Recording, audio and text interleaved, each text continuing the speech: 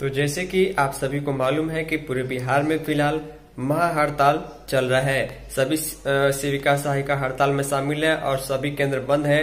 इसी दौरान इसी बीच बिहार सरकार आईसीडीएस की ओर से एक नोटिफिकेशन ऑफिशियल लेटर आया हुआ है, जिसके बारे में आपको इस वीडियो में जानकारी देखने को मिलेगी। जी हाँ ये जो नोटिफिकेशन है वो डीबीटी के माध्यम से बच्चों के लिए ड्रेस का पैसा ट्रांसफ़र करने के संबंध में आया हुआ है। एक बच्चे को चार सौ रुपये भेजने के संबंध में यहाँ पर पूरा डिटेल आया हुआ है और लेडीज़ सुपरवाइजर यानी महिला पर्यवेक्षिका को वैसे बच्चों को वेरिफिकेशन करके भेजना है जो अन्य केंद्रों में माइग्रेट हो चुके हैं। अब चलिए हम आपको पूरा डिटेल में दिखाते हैं कि ऑफिशियल लेटर का मतलब क्या है ड्रेस का पैसा कब तक का है और किनको किनको मिलेगा। आपको वीडियो में देखिए पसंद आएगी वीडियो को लाइक और वीडियो को शेयर कर दीजिएगा। तो सभी सेविका सहायिका इस ऑफिशियल लेटर को बहुत ही ध्यान से देखिएगा, जो बिहार सरकार आईसीडीएस निदेशालय समाज कल्याण विभाग ने जारी किया हुआ है। इसकी संचिका संख्या है पाँच हज़ार पाँच सौ चौहत्तर। लेटर जो है नौ अक्टूबर 2023 को जारी किया गया है। देखिए, जो भी लेटर आप सभी को आईसीडीएस की ओर से, संघ की ओर से या फिर कोई भी इन्फॉर्मेटिव जानकारी प्राप्त होती है सीधे मुझे व्हाट्सअप पर मैसेज कर सकते हैं। व्हाट्सअप नंबर यहाँ पर स्क्रीन पर आपको दिखाया जा रहा है। ये जो भी ज़रूरी अपडेट्स होती है, मैं कोशिश करता हूँ कि सभी बहनों को प्राप्त हो पाए। तो ये ऑफिशियल लेटर मुझे व्हाट्सअप पर कई लोगों ने भेजा गया था। उन सभी का धन्यवाद।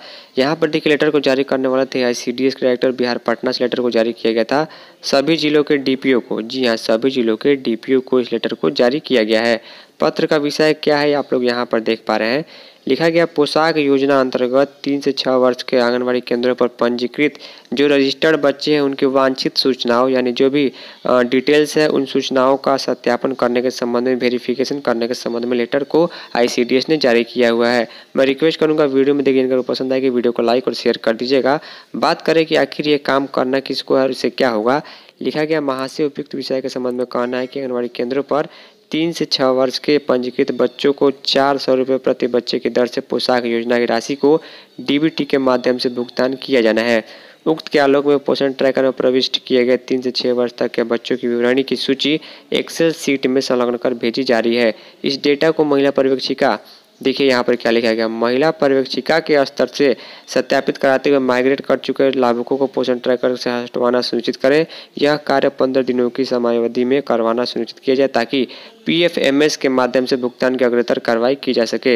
यानी कहने का मतलब है तीन से छः वर्ष के जो भी रजिस्टर्ड बच्चे जितने भी आंगनबाड़ी केंद्र पर मौजूद हैं, उनमें पोषण ट्रैकर ऐप में कितने बच्चे मौजूद हैं, कितना का वेरिफिकेशन हो चुका है और महिला पर्यवेक्षिका अपने स्तर से जो है, जो बच्चे माइग्रेट हो चुके हैं, यानी कि किसी केंद्र में पहले रजिस्टर्ड थे, लेकिन अब जो है किसी और केंद्र में उनको भेज दिया गया है माइग्रेट कर दिया गया है, उनको पोषण ट्रैकर ऐप से हटवाना सुनिश्चित करें और पंद्रह दिनों का समय दिया गया है। यानी कि अगर लेटर नौ तारीख को जारी हुआ है तो मान के चलिए 26 अक्टूबर तक समय दिया गया है कि सारे लाभार्थियों का, जिनका ड्रेस का पैसा चार सौ रुपये प्रति बच्चे के हिसाब से भेजना है, उसका वेरिफिकेशन करें और कहीं ना कहीं नवंबर के पहले सप्ताह में यह पैसा जो है बच्चों को दे दिया जाएगा, उनके अकाउंट में भेज दिया जाएगा।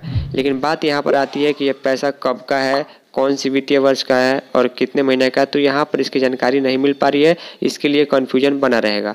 यहाँ पर देखिए आईसीडीएस के डायरेक्टर का कौशल किशोर जी का सिग्नेचर 9 अक्टूबर का डेट देखने को मिल जा रहा है।